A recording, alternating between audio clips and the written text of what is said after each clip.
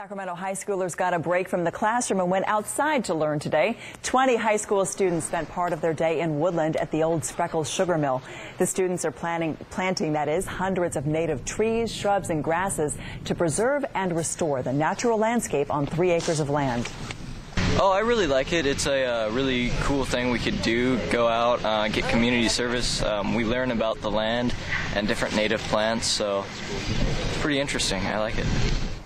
Through the Hedgerow and Native Grasses Project, students learn not just about the plants, but the role they play in the environment.